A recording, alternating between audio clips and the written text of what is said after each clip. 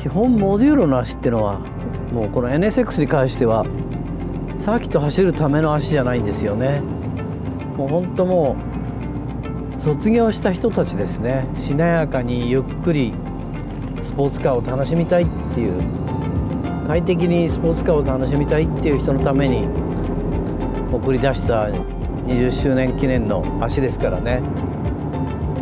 乗り心地しなやかさまあそれでもね年に1回ぐらいサーキット走りたいなっていう人もいるかもしれないからそのために、えー、袖ヶ浦でねタイムを出してみたいと思います。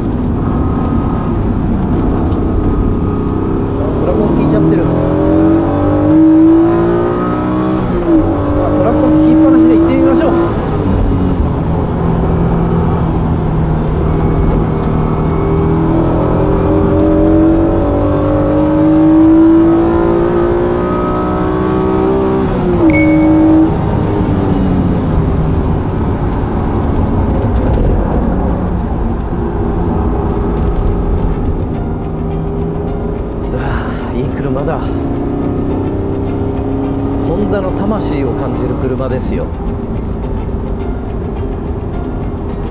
もう NA2 になるともう完成形ですね。NSX の。ミッドシップっていうのはこんなに楽しくて速くてトラクションがいいんだぞっていう。NA2 は集大成ですよ。あれはね本当試乗会でびっくりした。なんでこんなミッドシップが FR みたいなフロントの設置感があるんだろうっていう安心感。それでもうすぐ NA2 買っちゃいましたね。いやいい車作るねこの時代のホンダって。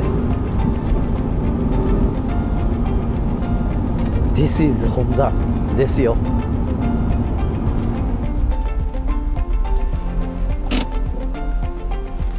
いや改めてホンダの凄さをかみしめましたよ。なんかもう本当いい車作るなっていう感じで。やっぱこうでないとねホンダは。すごい車ですよ。